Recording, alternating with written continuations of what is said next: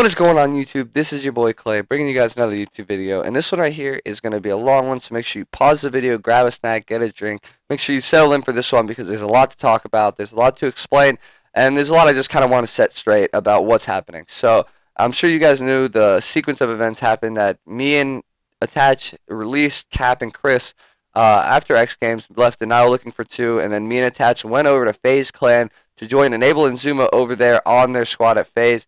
And a lot of you people are wondering why we made this move, why we ditched Undenial, um, you know, FaZe downgraded, all this stuff. And I kind of just want to make this video to set everything straight, to kind of put everything into perspective and give you guys my side of the story and just my feelings on the entire issue. So, um, basically, I'll start from the beginning. After we had lost X Games, uh, Replays came up to me and asked me, he goes, hey man, I know I haven't been performing too well, but if uh, you guys want me to step down, I will. And Kap came up to me and said basically the same thing. So we all four had a talk, and we realized like it's going to be very difficult just finding one player to come join our team. Like say if we just dropped Kap or just dropped replays, it was going to be a little more difficult to just find that one player to complement our team. Whereas there's plenty of duos out there, two people that we could pick up and potentially nurture, uh, use their chemistry and our chemistry, and just build chemistry between the two two groups of two.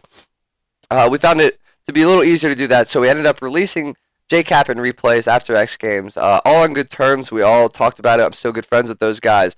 Uh, harbor no bad feelings towards them and stuff like that. And as you guys may know, I'm one of the most loyal people in this community. You know, I've always preached loyalty, chemistry to your teammates. Um, you know, just all that stuff like that because I value that over just forming a god squad. And a lot of you think that's maybe what we tried to do, but that's definitely not what we tried to do.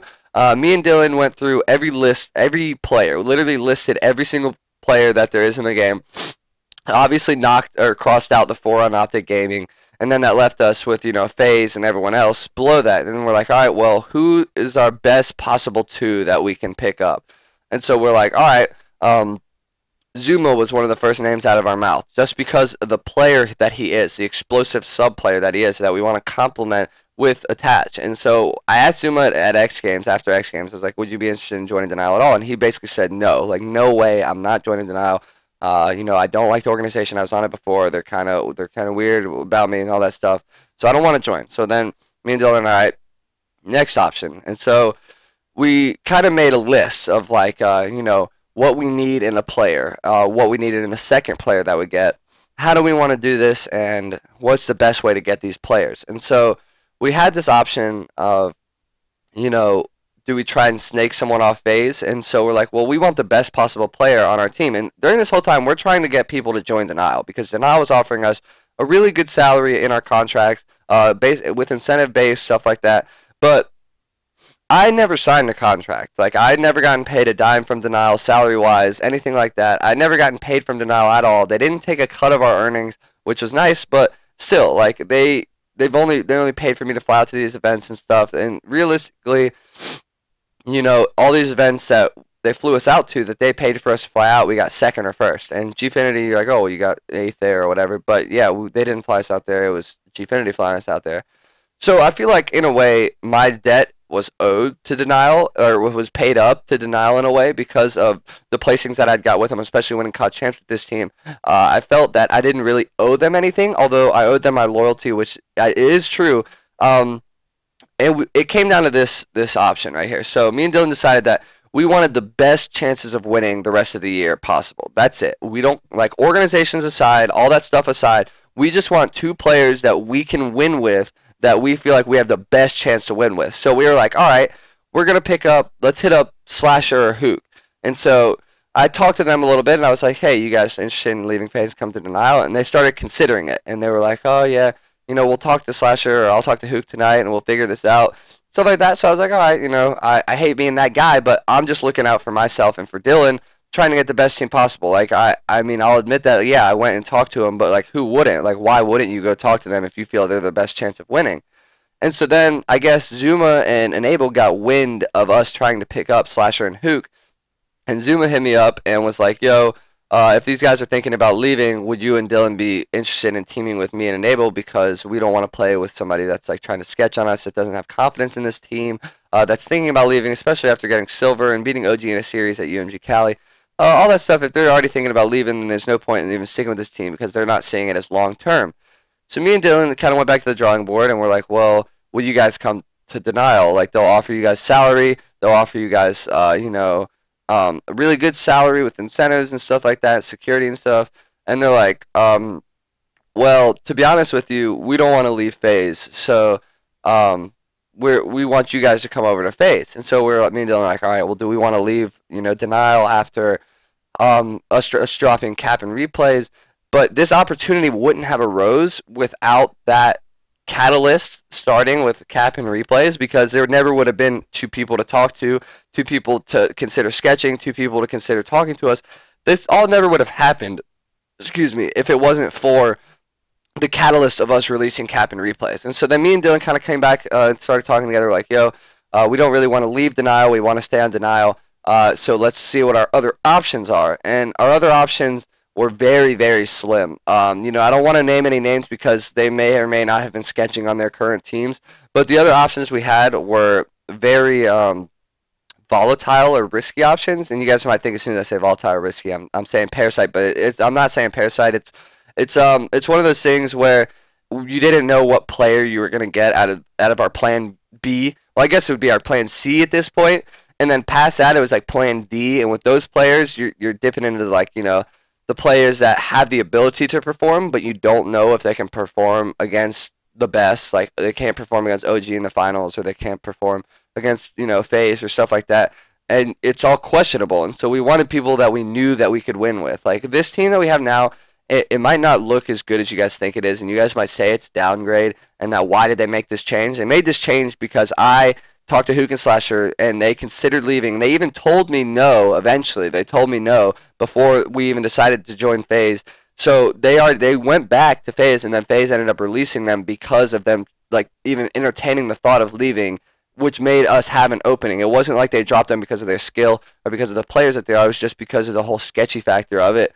And then I guess we went and talked to Zuma and some of the leaders of FaZe, and we're like, yo, you know, we're getting this really good salary from FaZe or from Denial. Uh, we're getting, I have the captain spot over at Denial. It's stability over here. I really like it over here being the captain.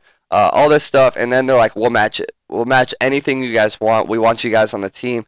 We're going to offer you the same benefits of Denial in terms of salary, in terms of being the captain, in terms of running the show, all that stuff. We'll give you all of that straight up just because we want you guys on the team. And then you have the fact that we have a championship caliber team on FaZe instead of having a potential top four team on denial. Uh, potential top four, like really, that's pushing it potential.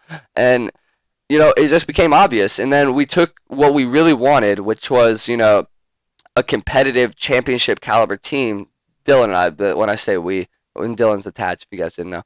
And we basically said, well, in the end, we just want to win. Like, I don't want to be like like stuck on an organization and squandering away my chances of winning more tournaments just because I have loyalty to the organization that I've paid my debt to by performing very very well on them. And you know, you guys might say like be like, well, you left them out to dry, like you dropped Kap in replays and then you and Dylan just end up leaving. But yeah, this wasn't like the plan. Like we didn't intend on doing this, uh, and I feel terrible about it. Like I talked to Robbie for a half hour the other night, and I I was still texting him last night, and I feel awful about doing it. Like I really really do. But in this in this COD world, like if you don't look out for yourself, then you're end up just gonna, you're just gonna end up being thrown to the to the wolves and and you're going to be thrown in the gutter and you're going to be stepped on and you're just going to be covered up and you're going to be forgotten about. And it's it's hard to say and it's a hard decision to make, but when I talk to everybody like I have, you know, my brothers I talk to and some close friends and family and stuff like that about the whole situation, before I even made the decision and all of them said the best the same thing, you know,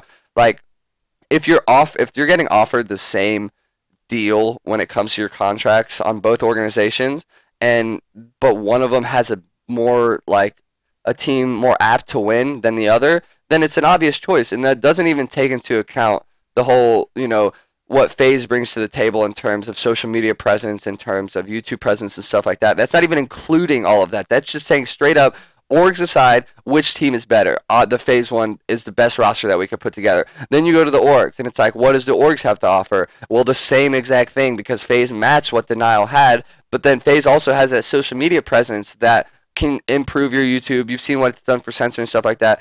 But that's not what I'm thinking about. You know, that's just kind of an, an afterthought for me. I'm not focusing on what they can do for me in YouTube or what they can do for my stream or, or any of that stuff.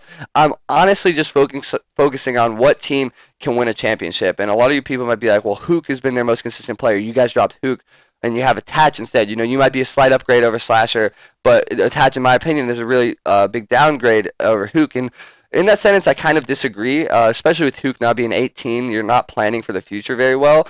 Um, the Gfinity events plus, you know, I can't really talk about a couple of the other events coming up, but there will be some more international events that I can't really speak about in the next six months or so. So, you know, it just doesn't make sense to not have an 18 plus team, which is another benefit of this team that we have. Um, I think that the team that we put together is pretty much the best that we could ask for in the circumstances that we were given. Um, I'm not sure if Zuma and Enable think that me and Attach are their best two that they could have had, or I don't know if Attach thinks that Zuma and Enable are the best two that we could have. But I feel like the puzzle pieces of this team will work together very well. Um, I know you guys are just taking my word for it, but I just want you guys to know that like I didn't do this lightly. Like me and Dylan didn't make this uh, decision very lightly when we left denial. Like it was a very very hard decision, and it took us like you know, many, many phone calls for Dylan and I to even like work up the courage to make this decision.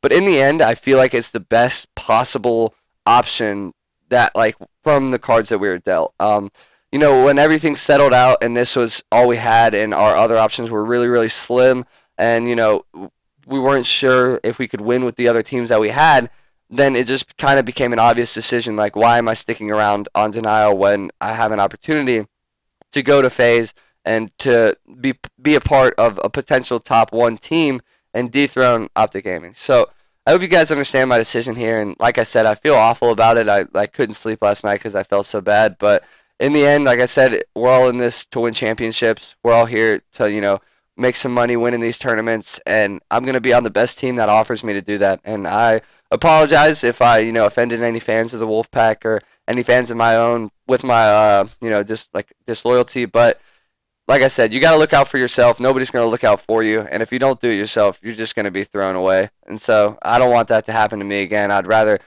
live this live this dream while I still can. You know, I'm getting a little older. I don't know how much longer I'm going to be doing this.